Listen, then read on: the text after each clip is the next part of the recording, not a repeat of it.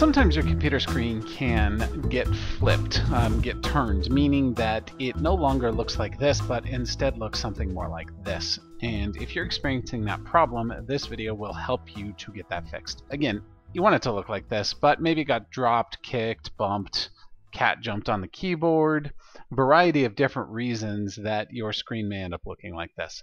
Now one solution might be to flip your screen to the side and you might have tried this but that's not really what you're going for. You really want it to go from this to looking more like this. The solution for that is quite simple actually. In most cases you can actually resolve this problem just by finding some buttons on your keyboard. And quite simply, you'll want to find these three keys, the Control key, the Alt key, and the Delete key.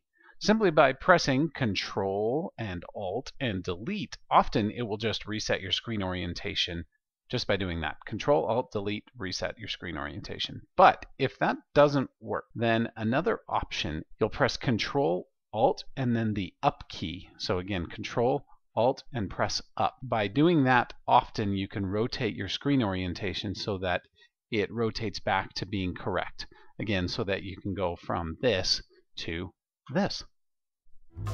If you liked this video, please be sure to give it a thumbs up below.